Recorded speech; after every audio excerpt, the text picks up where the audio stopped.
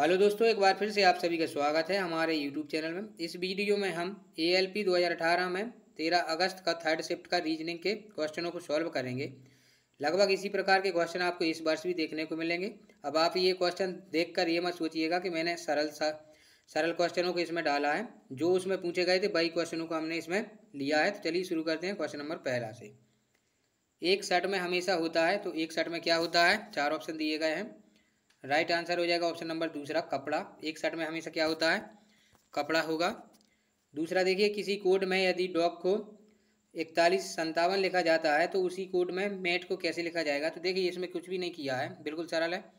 चार नंबर पर डी आता है, पंद्रह पर ओ आता है और सात पर जी आता है। तो इसी प्रकार से तेरह पर आएगा एम एक पर आता है ए और बीस पर आता है टी तो तेरह, एक सौ बीस ऑप्शन नंबर चार में है तो चौथा ऑप्शन राइट आंसर हो जाएगा।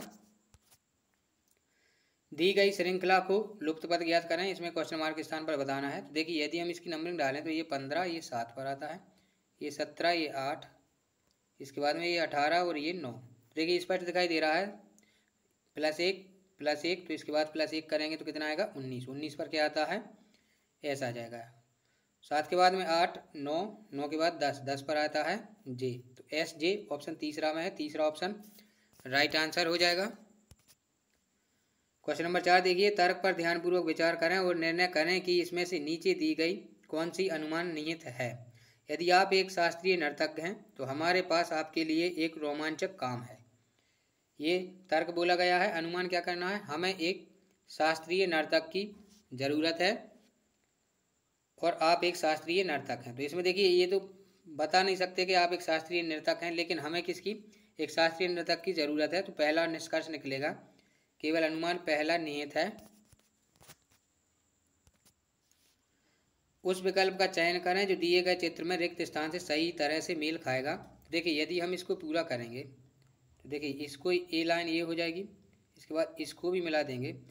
और इसमें यदि हम देखेंगे तो इसमें देखें यदि हम तो इसमें क्या आ जाएगा? बीच में ये आ जाएगा। और इस वाली लाइन को भी हम मिला देते हैं। देखिए, ऐसी आकृति किसमें है? चौथा में दिख रही है तो ऑप्शन नंबर चौथा राइट आंसर हो जाएगा। एक आदमी अपने कार्यालय से चला और पाँच किलोमीटर पूरब में गया। तो देखिए, पाँच किलोमीटर पूरब में गया है।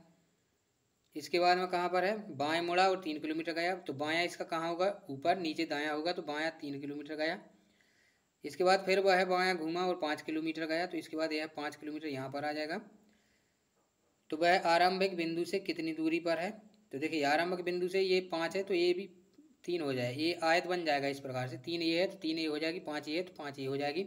इस प्रकार से कितनी दूरी पर हो जाएगा? तीन किलोमीटर। साथ में देखिए, ये इस एग्ज़ाम में तीन ऐसे क्वेश्चन पूछे गए थे। जैसे कि ये है, एक राजा के पास हमेशा होगा तो राजा के पास में क्या होता है हमेशा? तो राइट आंसर हो जाएगा ऑप्शन तीसरा। राजा के पास में राज्य होगा, तभी तो वो राजा होगा। क्वेश्चन नंबर आठ देखिए, यदि हम इसको देखें तो पाँच और दो, सात सात और चार, ग्यारह। इसमें दो प्लस है, इसमें चार है, इसमें छः है। तो इसमें कितना होना चाहिए? आठ। तो आठ यदि हम इसमें प्लस कर देंगे तो कितना हो जाएगा ये? पच्चीस। अब इसमें देखें यदि हम तो पाँच के बाद छः छः के बाद आठ आठ और तीन, ग्यारह ग्यारह और चार, पंद्रह। पंद्रह पर आ जाएगा ओ पच्चीस ओ हो जाएगा ये। इसमें कितने का डिफरेंस है? इसमें प्लस एक है। फिर ये दो है, फिर तीन है। इसके बाद में कितना होगा? ये चार होगा। तो पच्चीस ओ ऑप्शन नंबर चौथा में है तो चौथा ऑप्शन राइट आंसर हो जाएगा। प्रश्नवाचक चिन्ह के स्थान पर आने वाली सही आकृति चुने। तो इसमें देखिए, यदि हम इसको देखें, त्रिभुज है, फिर ये डंडा है। तो बीच में जो डंडा है, उसको यहाँ खड़ा कर दिया है। ठीक इसी प्रकार से इसमें यदि हम देखेंगे तो इसमें क्या है? इसमें बीच वाला ये है, इसमें प्लस है तो प्लस है। इसमें गुणा है तो इसमें क्या हो जाएगा? गुणा हो जाएगा। इस प्रकार से कौन सा ऑप्शन में है? डी है। तो चौथा ऑप्शन है जो वो राइट हो जाएगा डी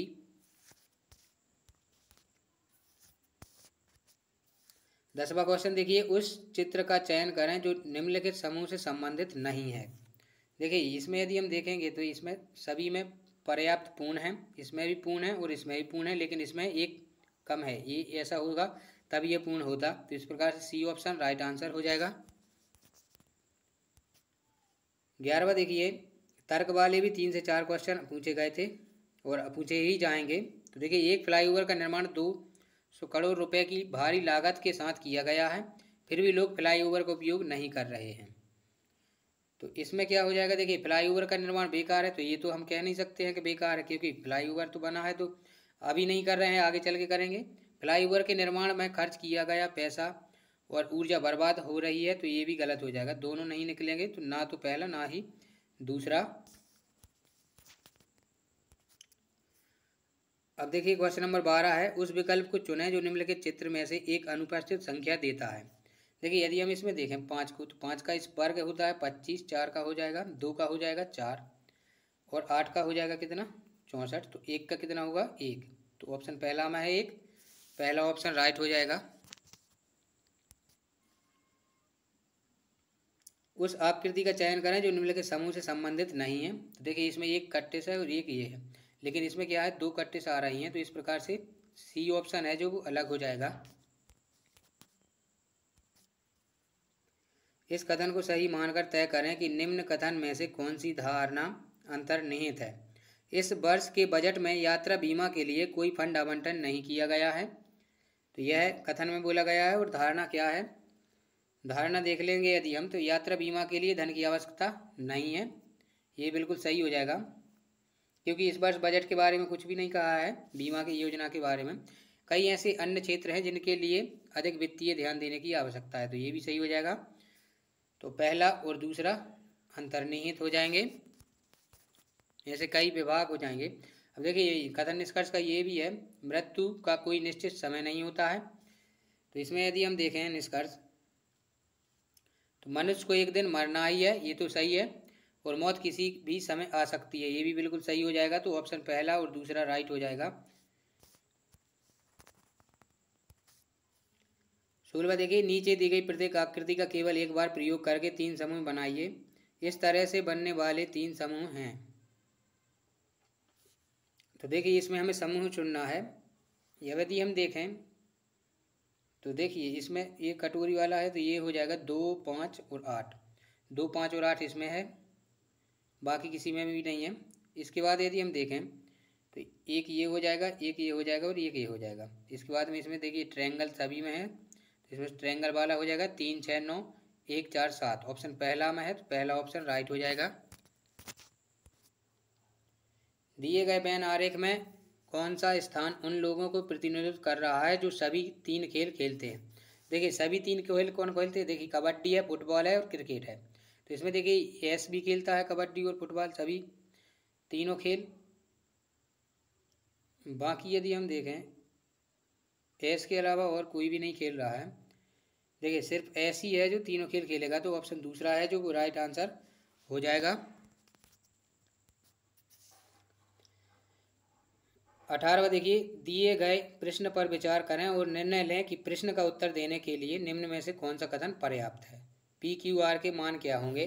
देखिए, यदि हम इसमें देखें तो इसको यदि हम देखें तो पी प्लस क्यू एक बार प्लस का ले लेते हैं, एक बार माइनस का। क्यू माइनस आर बराबर आ जाएगा कितना? सोलह। इसकी हम सर्व सभी का लगा देंगे यदि हम तो ये, इसको हम दो बार लिख देंगे, वही को वही हो जाएगा P P plus Q P plus Q अब देखिए पी माइनस क्यू दिया हुआ है, कितना है? चार है। पी माइनस क्यू दिया है, चार है।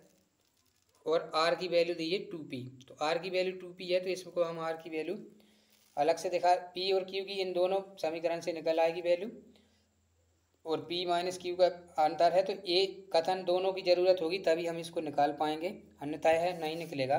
तो ऑप्शन नंबर तीसरा है जो, वो राइट आंसर हो जाएगा। उन्नीस देखिए, दर्पण वाला है। तो इसमें यदि हम इसकी आकृति बनाएँगे तो ये बन जाएगा यहाँ पर। ऑप्शन डी है जो बिल्कुल करेक्ट हो जाएगा। इसको उठाकर ये यहाँ आ जाएगा और ये यहाँ पर आ जाएगा। तो इस प्रकार से डी है जो वो राइट हो जाएगा। आखिरी क्वेश्चन देखिए, बी है जो यदि शब्दों के अक्षरों को अंग्रेज़ी वर्णमाला क्रम में प्रस्तुत किया जाए तो अक्षर एफ़ के दाहिनी ओर दूसरा अक्षर कौन होगा? देखिए, अंग्रेज़ी वर्णमाला क्रम में लिखना है तो सबसे पहले क्या आता है? ए बी सी भी है इसमें डी भी है और ई e भी है एफ़ भी है। एफ़ के बाद में क्या हो जाएगा? आई हो जाएगा। A A B C D E F I I के बाद में हो जाएगा के और इसके बाद में हो जाएगा एस अब देखिए, पूछा क्या है? एफ़ के दाहिनी और दूसरा कौन है? एफ़ के दाहिनी और आई के के हो जाएगा तो ऑप्शन दूसरा है, दूसरा ऑप्शन राइट हो जाएगा।